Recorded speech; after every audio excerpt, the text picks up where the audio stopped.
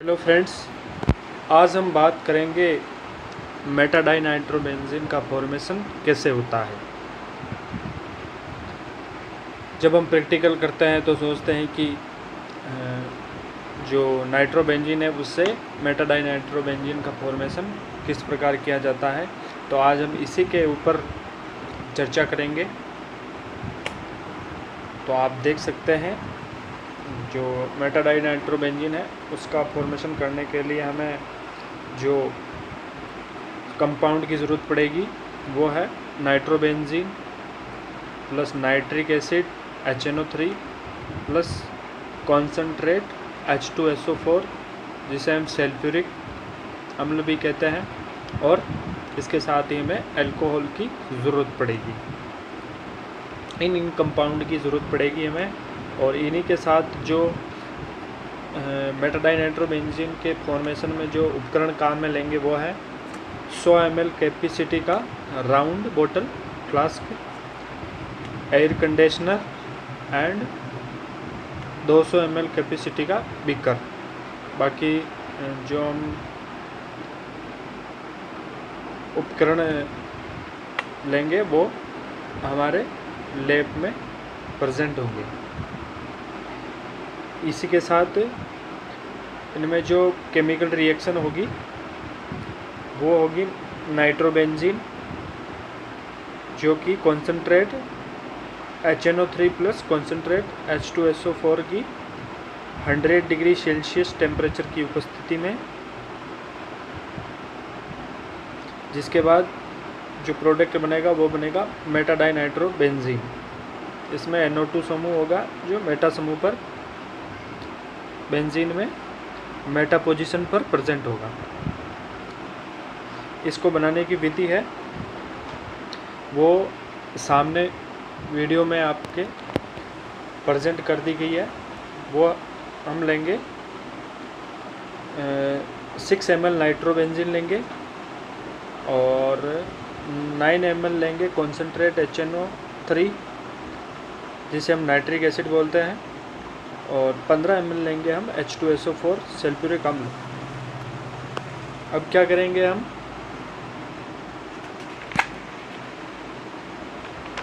जो ये H N O three है, उसको हम लेंगे। जो हमारे पास होगा जो पाठ्यांक लेने का जो मतलब एक ब्यूरेट नहीं पिपेट की तरह का एक जो कांच का बना होगा, उसमें हम नाप कर एच एन ओ थ्री लेंगे।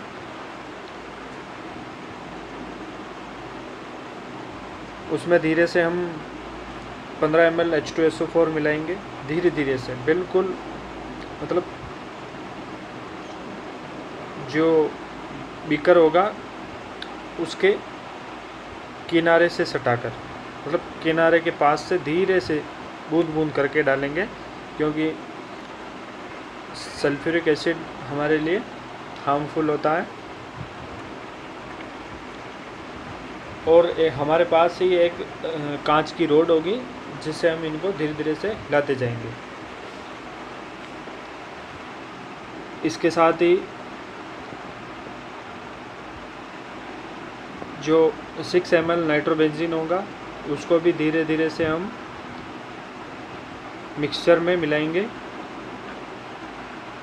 और इसी जो राउंड बॉटम फ्लास्क होगा इसमें पार्सिलिन, कांच के टुकड़े होंगे। यानी जो हमारे पास टूटी फूटी जो वो प्रगनली टेस्ट ट्यूब होती है, उसके टुकड़े इसमें डालेंगे ताकि फ्लास्क में बम्पिंग ना हो और हमारे लिए सेफ़ रहे। इसके साथ ही इसमें नाइट्रिफिकेशन होगा और जो एयर होगी वो इसमें जो एयर कंडीशनर है, इसमें धीरे धीरे से ऊपर जाएगी और इसी के साथ वापस संगनित्र होकर धीरे धीरे वापस इस फ्लास्क में आएगी। ठंडी होकर वापस नीचे आएगी।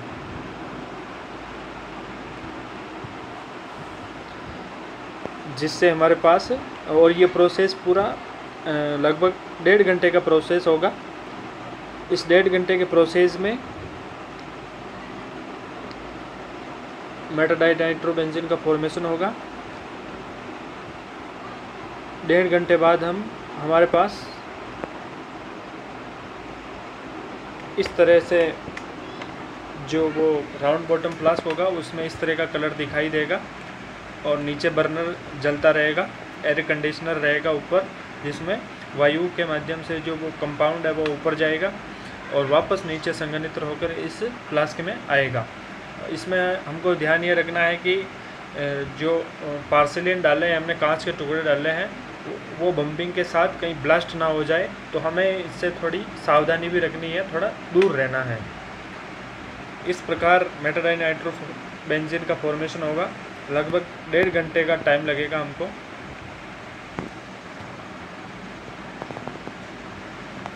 पहले इस तरह का जो कंपाउंड जिसमें सल्फ्यूरिक एसिड नाइट्रोबेंजीन और concentrate H N O three डाला था, वो इस तरह का जो हल्का नीला पीला, हल्का पीला दिखाई देता है।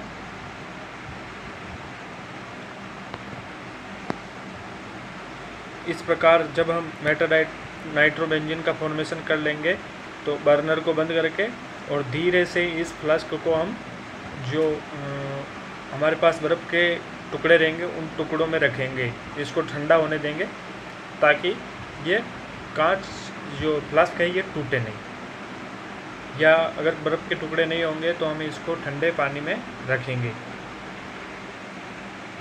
जिससे मेटाडाइनाइट्रोबेंजीन के इस प्रकार के क्रिस्टल प्राप्त होंगे। इस मेटाडाइनाइट्रोबेंजीन को हम ठंडा होने के पश्चात धीरे धीरे छानेंगे। छानने के बाद बीकर में इस प्रकार दिखाई देगा और धीरे धीरे इसके क्रिस्टल प्राप्त होंगे, जो कि पीले क्रिस्टल होंगे। तो इस प्रकार हम पता कर सकते हैं कि मेटाडाइनाइट्रोबेंजीन किस प्रकार बनता है और किस तरह के क्रिस्टल प्राप्त होते हैं। इसमें जो क्रिस्टल प्राप्त होंगे, उसको हम एक डिब्बे में लेकर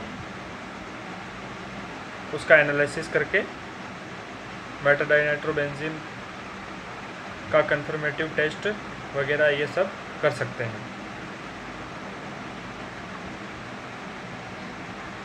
तो ये रहा मेटाडाइनाइट्रोबेंजीन का फॉर्मेशन उम्मीद है आप सभी को अच्छा लगेगा।